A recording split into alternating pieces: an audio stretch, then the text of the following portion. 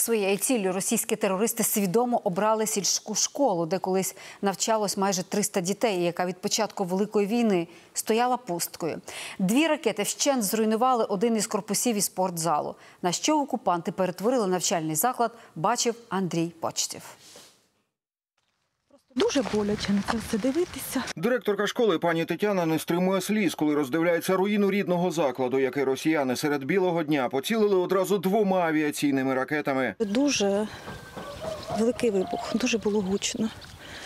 Мені додому видно школу нашу.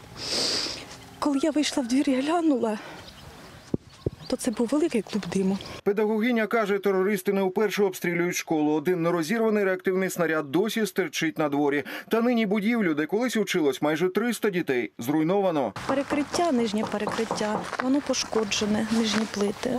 І ну, бажано не заходити до школи. Тож зазирнути у свій рідний і не так давно відремонтований клас пані Тетяна може лише ззовні. Це мій клас, да. Ну, це потолками, інтерактивно дошки. Довкола розбиті цеглини у переміжку з книжками та дидактичними матеріалами, що збирались роками. Колишня директорка Тетяна Іванівна так само прийшла на руїну рідної школи.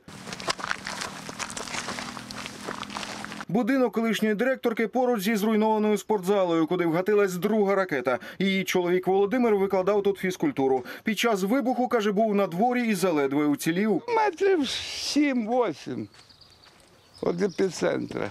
Щоправда, дістав поранення. Уламок цеглини ударив по голові, лишились садна. Та болить йому за зруйновану спортзалу. Бог певен, відбудові та не підлягає. Ні, ні, ні.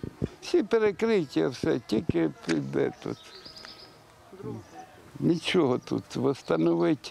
Потужні вибухи пошкодили і кілька будинків довкола. Станіславові товариші прийшли на допомогу, аби закрити дах плівкою. Весь шифер побитий. На хаті, на кухні, всі сараї, все побите. Саме головне дом накрити, а то все. У пана Володимира так само чимало роботи на своєму подвір'ї. Та всю цю скруту, каже, можна пережити. Бо ж на передовій, мовляв, іще тяжче. Переможемо, відбудуємо. Живі остались кості цілі. Обідно, досадно. Ну, хлопці кожен день в таких умовах воюють. Андрій Почтів, Артем Деженков, Факти ICTV, Єдині новини.